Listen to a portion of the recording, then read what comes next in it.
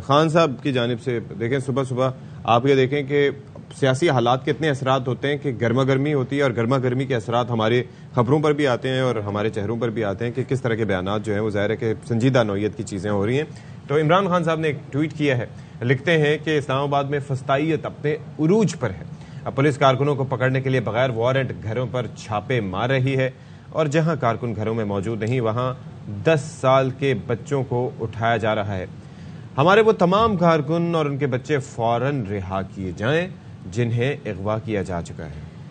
सही। खान साहब की जानब से देखें सुबह सुबह आप ये देखें कि सियासी हालात के इतने असरात होते हैं कि गर्मा गर्मी होती है और गर्मा गर्मी के असरात हमारे खबरों पर भी आते हैं और हमारे चेहरों पर भी आते हैं कि किस तरह के बयान जो हैं वो ज़ाहिर है कि संजीदा नौीयत की चीज़ें हो रही हैं। तो इमरान खान साहब ने एक ट्वीट किया है लिखते हैं कि इस्लामाबाद में फस्ताइत अपने उरूज पर है। अब पुलिस कारकुनों को पकड़ने के लिए बगैर वारंट घरों पर छापे मार रही है और जहाँ कारकुन घरों में मौजूद नहीं, वहाँ दस साल के बच्चों को उठाया जा रहा है। हमारे वो तमाम कारकुन और उनके बच्चे फ़ौरन रिहा किए जाएँ, जिन्हें अगवा किया जा चुका है। सही।